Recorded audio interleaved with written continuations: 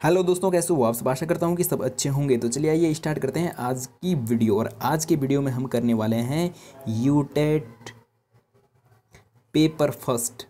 और paper first में करने वाले हैं हम बाल विकास एवं शिक्षण विज्ञान के तीस प्रश्नों को हल करने वाले हैं। तो चलिए दोस्तों, स्टार्ट करते हैं पहले प्रश्न से।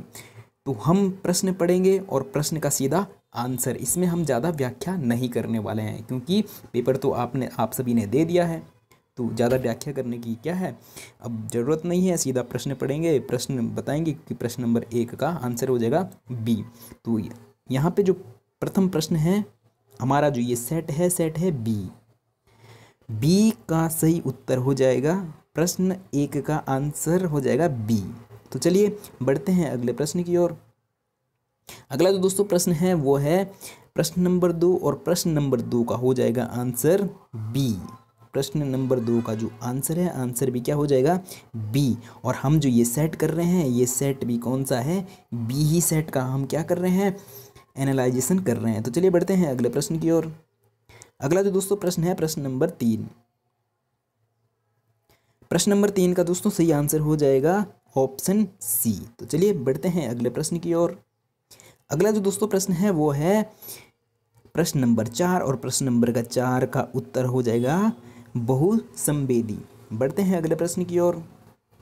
अगला जो प्रश्न है, प्रश्न नंबर पाँच और प्रश्न नंबर पाँच का क्या हो जाएगा? क्रिया प्रस्तुत अनुबंध, इसका ऑप्शन नंबर ए सही उत्तर हो जाएगा। तो चलिए बढ़ते हैं अगले प्रश्न की ओर। अगला जो दोस्तों प्रश्न है, प्रश्न नंबर छः और छः का हो जाएगा आंसर बी, नए व्यवहार को स्थापित करने के लिए। तो चलिए बढ़ते हैं अगले प्रश्न की ओर।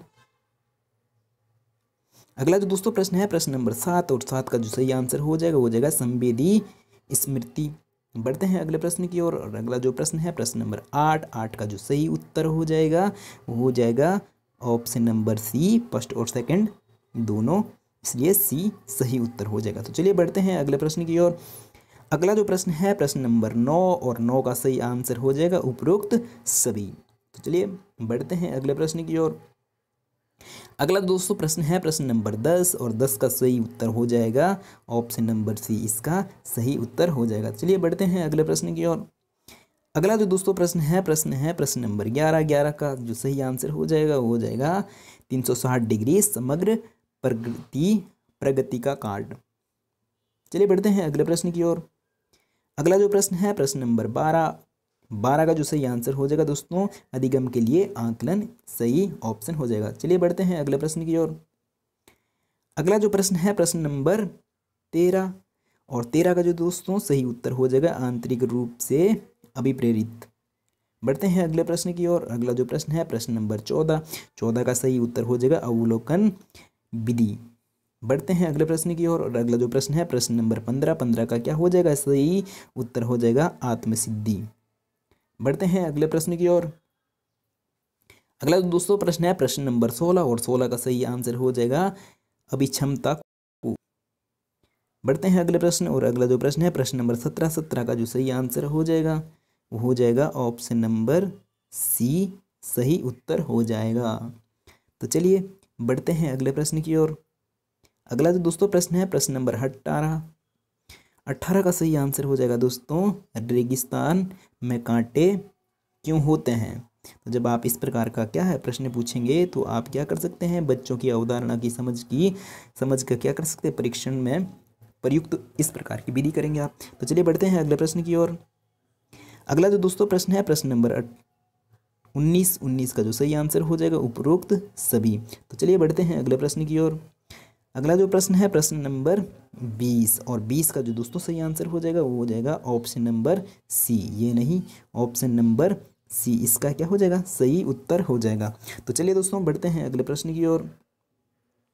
अगला जो दोस्तों प्रश्न है, प्रश्न नंबर इक्कीस। इक्कीस का सही आंसर हो जाएगा ऑप्शन नंबर बी। तो चलिए चलते हैं अगले प्रश्न की ओर। अगला जो प्रश्न है, प्रश्न नंबर बाईस। और बाईस का जो सही आंसर हो जाएगा, वो हो जाएगा सहयोगात्मक सही उत्तर। चलिए, बढ़ते हैं अगले प्रश्न की ओर। अगला जो दोस्तों प्रश्न है, प्रश्न नंबर तेईस, और तेईस का हम सही आंसर देख लेंगे कि सही आंसर क्या हो जाएगा। तेईस का हो जाएगा सी आंसर सही। तो चलिए, बढ़ते हैं अगले प्रश्न की ओर, और अगला जो प्रश्न है, प्रश्न नंबर चौबीस चौबीस का सही उत्तर हो जाएगा ऑप्शन नंबर डी। तो चलिए, चलते हैं अगले प्रश्न की ओर। अगला जो दोस्तों प्रश्न है, प्रश्न नंबर पच्चीस। अगला जो दोस्तों प्रश्न है, प्रश्न नंबर प्रश्न नंबर पच्चीस और पच्चीस का सही आंसर हो जाएगा ऑप्शन नंबर बी पच्चीस का सही उत्तर हो जाएगा। तो चलिए बढ़ते हैं अगले प्रश्न की ओर। और, और अगला जो प्रश्न है प्रश्न नंबर छब्बीस तो छब्बीस का जो दोस्तों सही आंसर हो जाएगा अहम भाव। तो चलिए बढ़ते हैं अगले प्रश्न की ओर। अगला जो दोस्तों प्रश्न है, प्रश्न नंबर सत्ताईस और सत्ताईस का क्या हो जाएगा? कुल वर्ग के सिद्धांत के अनुसार क्या समाज के नियमों का कानून के आधार पर इसका सही उत्तर हो जाएगा? तो चलिए बढ़ते हैं अगले प्रश्न की ओर। अगला जो दोस्तों प्रश्न है, प्रश्न नंबर अट्ठाईस और अट्ठाईस का सही उत्तर हो जाएगा। कुल वर्ग इसका सही उत्तर हो जाएगा। चलिए बढ़ते हैं अगले प्रश्न की ओर और अगला जो प्रश्न है, प्रश्न नंबर उनतीस